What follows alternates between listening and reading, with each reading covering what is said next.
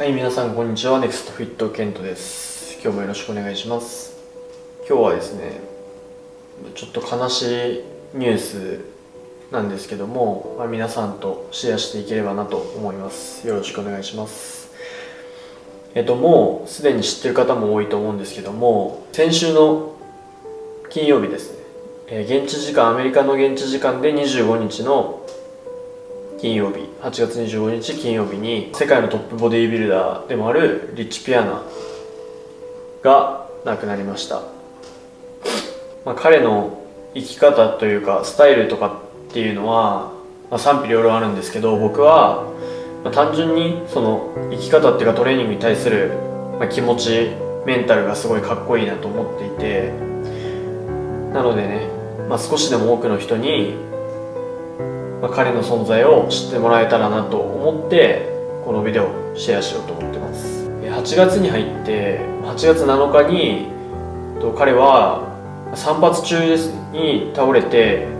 救急車で運ばれてでそこから3週間ぐらい昏睡状態が続いていました。それで一度も目覚めることなく亡くなってしまったという記事でした。まあ、多くの人が知っている通り彼はステロイドのヘビーユーザーでシンソールっていうあの美容整形とか包協手術とかに使われるような、まあ、合成油脂を二頭筋に注射したりと結構、まあ、グレーゾーンビルダーとしてはグレーゾーンというナチュラルからはちょっと程遠いような、まあ、スタイルでした。彼はカリフォルニア出身のビルダーで2003年と9年に NPC のカリフォルニアの大会を優勝してます。でその後2016年に自分はステロイドユーザーだったっていうことを、まあ、認めて自分の YouTube のチャンネルで認めて27歳の時からステロイドを使用してたということを公開しました。やっぱり良くも悪くも彼はフィットネス界のスーパースターで、まあ、アメリカの CM サプリメントの CM だったり、まあ、映画にも出てましたし本当トレーニングしてる人だったらね多分アメリカ人はもうそうなんですけど日本人でもほとんどの人がリッチ・ピアのこと知ってるぐらい有名な選手だったんじゃないですかね。でもまあ残念なことに45歳っていう若さで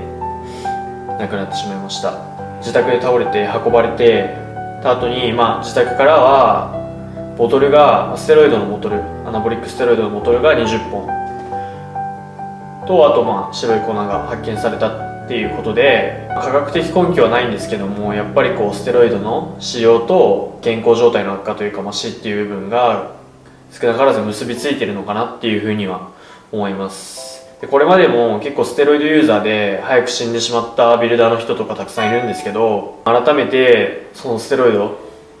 とかっていうものがね人体にどう関係するかっていうのを考えるいい機会になったのかなというふうには思ってます、まあ、つい先日もダラス・マッカーバーっていう